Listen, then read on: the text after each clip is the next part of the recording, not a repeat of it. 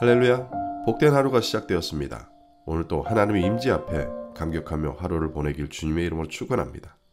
오늘 우리에게 주신 말씀은 출애굽기 19장 14절부터 25절 말씀입니다.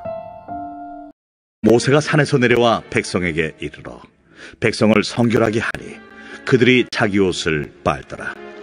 모세가 백성에게 이르되 준비하여 셋째 날을 기다리고 여인을 가까이 하지 말라.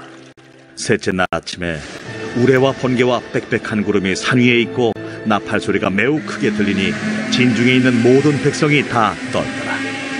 모세가 하나님을 맞으려고 백성을 거느리고 진에서 나오매 그들이 산기슭에 서 있는데 시내 산에 연기가 자욱하니 여호와께서 불 가운데서 거기 강림하시니라.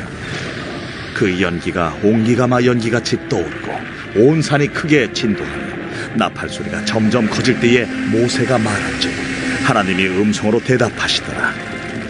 여호와께서 시내 산곧 그 산 꼭대기에 강림하시고 모세를 그리로 부르시니 모세가 올라가매 여호와께서 모세에게 이르시되 내려가서 백성을 경고하라. 백성이 밀고 들어와 나 여호와에게로 와서 보려고 하다가 많이 죽을까 하노라. 또 여호와에게 가까이 하는 제사장들에게 그 몸을 성결히 하게 하라. 나 여호와가 그들을 칠까 하노라. 모세가 여호와께 아뢰되 주께서 우리에게 명령하여 이르시기를 산 주위에 경계를 세워 산을 거룩하게 하라 하셨사온즉 백성이 신의 산에 오르지 못하리이다. 여호와께서 그에게 이르시되 가라. 너는 내려가서 아름과 함께 올라오고 제사장들과 백성에게는 경계를 넘어 나 여호와에게로 올라오지 못하게 하라. 내가 그들을 칠까 하노라.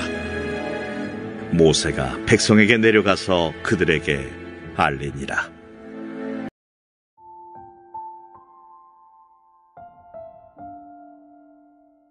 오늘 본문은 신의 산에 강림하신 하나님을 묘사합니다. 셋째 날 우레와 같은 소리와 나팔 소리와 번개 그리고 산에 가득한 빽빽한 구름 속에 하나님이 강림하시자 백성들이 두려워하기 시작했습니다. 그러자 모세가 그런 이스라엘 백성들을 인도해 하나님의 현원을 체험하게 합니다. 그리고 20절부터 25절까지 행여나 그러한 그들이 거룩한 경계를 침범하여 여호와를 보러 나오지 않도록 모세를 불러 당부합니다. 뿐만 아니라 제사장들에게 자신들의 성결을 살필 것을 명하십니다. 우리가 분명히 하나님을 아빠 아버지로 부를 수 있는 것은 누가 뭐라해도 특권입니다. 그러나 이 아버지라는 단어에는 친밀함과 동시에 경외함이 함께 담겨 있습니다. 경외라는 말은 두렵고 떨림으로 존경과 사랑이 함께 포함되어 있는 단어입니다. 그렇게 우리 역시 하나님께 나아갈 때 이 경외함으로 나아가야 합니다. 16절입니다.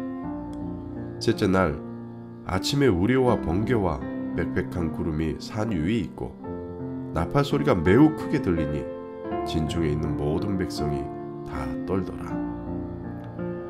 백성들이 준비가 끝나자 여호와께서 임하십니다. 그러자 여호와께서 강림하시자 백성들은 두려움에 떱니다. 사실 죄인이 하나님 앞에 서게 된다는 것은 당연히 두려움 속에 떨 수밖에 없습니다. 그런데 오늘날 우리는 아무 두려움 없이 당당하게 나아갈 수 있게 되었습니다. 그것은 바로 십자가의 은혜 때문에 가능한 것입니다. 이것은 우리의 공로와 의가 아닙니다. 그렇게 우리는 어떤 자랑도 할 수 없는 것입니다. 우리가 하나님의 보좌에 담대히 나갈 수 있게 된 것은 오로지 하나님의 전적인 은혜입니다. 본문의 이스라엘 백성들은 아직 성막이 만들어지기 전입니다. 그렇게 시내산 꼭대기는 지성소와 같은 곳이었습니다. 지성소는 대제사장들이 하나님의 허락하신 날 정결 의식을 통해서만 나갈 수 있는 곳입니다. 이스라엘 백성들이 이 경계를 넘어 죽임을 당할까봐 미리 경고하시는 것입니다.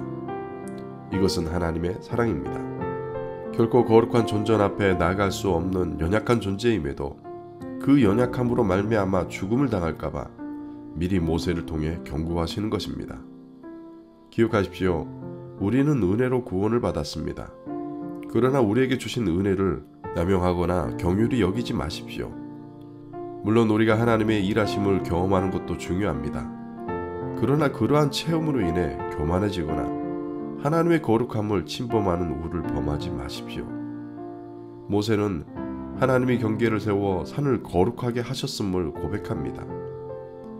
성도는 항상 하나님의 임재를 경험하고 사모해야 합니다. 그리고 믿음으로 확신해야 합니다. 뿐만 아니라 두렵고 떨림으로 여호와 하나님을 경외해야 합니다. 이것은 신앙의 균형입니다. 우리가 하나님의 임재를 경험해야 하지만 그것 때문에 영적인 교만함에 빠지지 않고 여호와 하나님 한 분만을 겸손함으로 섬기는 은혜가 있기를 소망합니다. 함께 기도하시겠습니다.